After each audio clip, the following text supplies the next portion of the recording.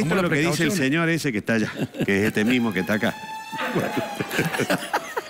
Bueno, estimado Guisardi querido, créame que hoy sentí frío, fresquito.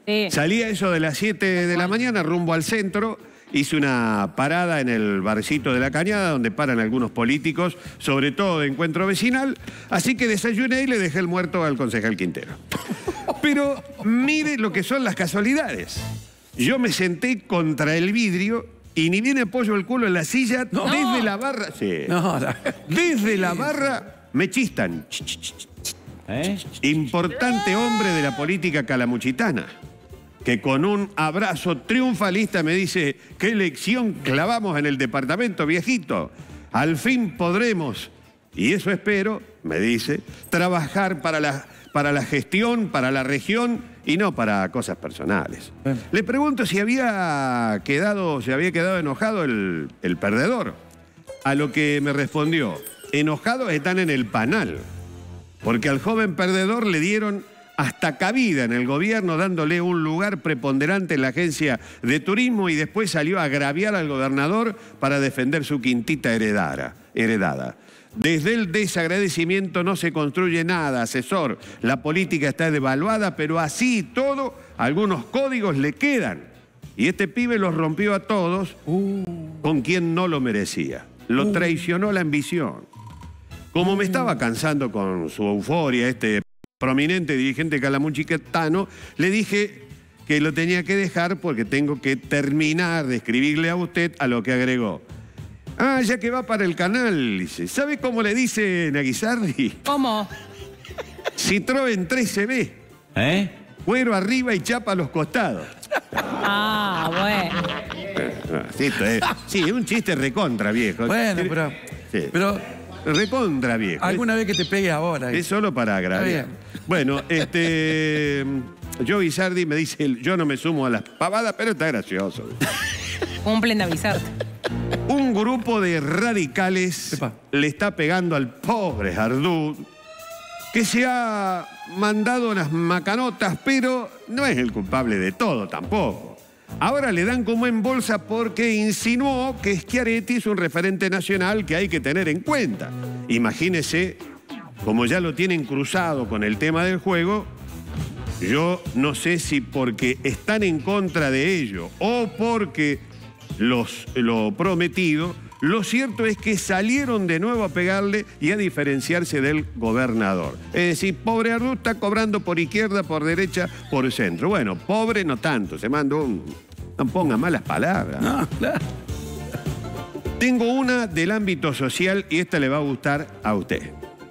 Porque yo no ahondo mucho en las cuestiones sociales, pero esta es de color y además de amor, mucho amor. Bien. Uno de los dueños del Luxor, dueños de Kiosk, del Hotel Eleton y productor teatral Eduardo Giordano de Carlos Paz, se casó en República Dominicana. Mira. Impactante casamiento a orillas del mar.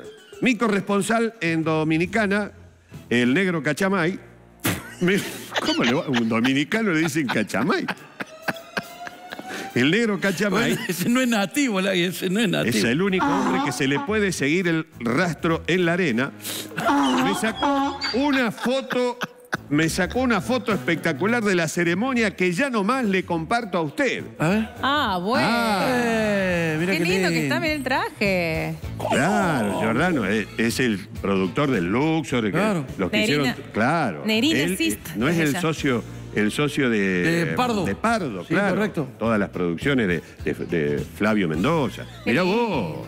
Y el mar. Felicidades. Qué lindo lugar para casarse, lindo, che. Eso cuando vos lo hagas, este, te vamos a mandar ahí. hay que hacer ahí. ahí claro. No, te vamos con viático y todo. Ah, con viático y todo. Sí, eh. qué lindo. Atento, que bueno, linda foto. Está Cositorto allá. Eh, sí. No, no será Cositorto el que le habrá mandado la foto, ¿no? Atento a los hinchas de talleres. Uh, ¿qué pasó? Tallarines aquí presentes. Acá está. La Conmebol y el Flamengo establecieron que a Talleres solo le darán 2.000 entradas para el encuentro. Pero Talleres quiere 3.500, ha pedido 3.500. Esto me lleva a pensar que están preparando charter colectivos para llevar a Río de Janeiro. Bueno, puede comenzar el bolonqui de los colectivos con el antecedente de lo ocurrido en el viaje a Chile, tienen que empezar a tomar todas las precauciones. Mm. Pero 2.000 es mucho y 3.500 una barbaridad. Es mucho, sí. Que van 3.500. mucha gente. Mucha gente. Bien. Atentos. Esto ocurrió esta madrugada. Fue internado Quesito Pavón. Uh. Tema vesicular. Es muy probable que lo tengan que operar. Se supone que habrá suspensión de actividades hasta que se conozca su evolución. El parte de esta hora es estable. Le mandamos un saludo entonces. Uy, ¿por qué eso? Atento que ayer estuvo en la Bulash el gobernador de la provincia de Córdoba. Impresionante recepción. Así como yo se lo digo. La gente salía de sus casas para saludar su paso una imagen que hacía mucho tiempo no se veía, fue inaugurar una repavimentación de la circunvalación y el polo de la mujer.